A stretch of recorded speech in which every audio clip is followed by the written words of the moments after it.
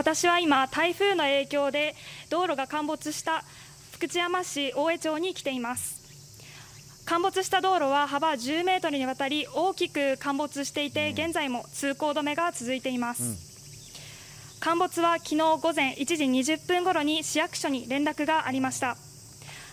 近所の人によりますと、朝起きて気づいて愕然とした、生活道路だから困る、通学路だけど今は夏休みでよかったといった声もありました。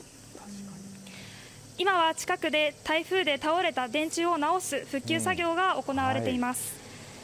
大江町では他にも複数箇所で道路の陥没が発生していて、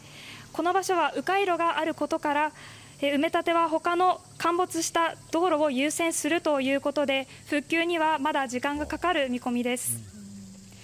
さらにここ大江町では町内にある常泉寺というお寺で境内の土砂が、えー墓石をなぎ倒すという被害もありました。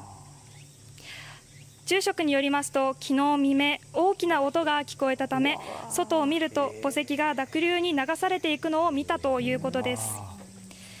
昨日朝確認したところ、裏山にあった墓石約30基が大量の土砂とともに流されたり、押し倒されたということです。土砂はお寺の前の道路にまで流れ込み、今日は朝から地域住民の方たちがホースで清掃活動をされている姿も見られましたが、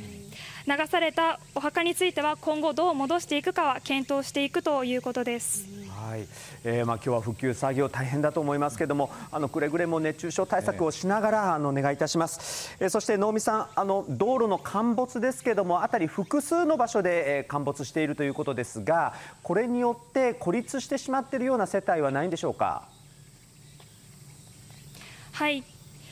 土砂崩れや冠水などの被害もあり、3世帯5人が現在も孤立した状態となっていて、道路の復旧作業などが急ぎ進められています。以上、中継でした。